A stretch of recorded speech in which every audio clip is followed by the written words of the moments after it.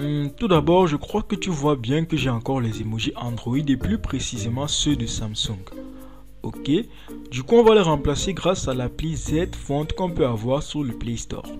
Une fois installé, on lui autorise l'accès au stockage et on ferme leur petit message d'annonce ici.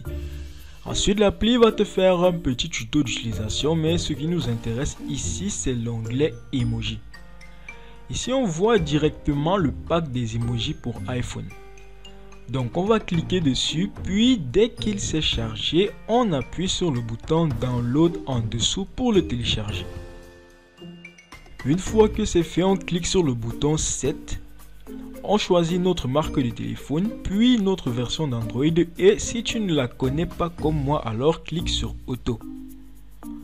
Voilà, la nouvelle police va se charger et s'installer après qu'on ait lu et validé ce petit message. On nous demande maintenant d'autoriser l'installation de l'application, ce qu'on va faire directement ici. Voilà donc le fond a été installé et on nous suggère d'aller l'activer. Mais malheureusement, comme on le voit ici, il n'apparaît pas encore. Donc ce qu'on va faire, c'est redémarrer notre téléphone, puis réouvrir nos paramètres de texte. Je rappelle que ça dépend de la version d'Android, mais chez moi c'est dans Affichage, Police et Zoom de l'écran. Puis en coulissant vers le bas, on voit bien la police iOS qu'on va alors appliquer.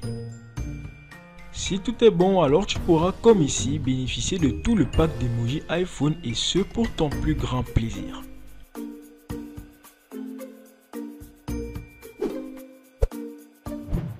On arrive donc à la fin de la vidéo et n'oublie pas de la liker et d'écrire merci en commentaire si elle t'a été utile. C'était donc Mighty Fake et on se dit à la prochaine pour une nouvelle astuce ou un secret Android si t'es abonné à la chaîne. Bye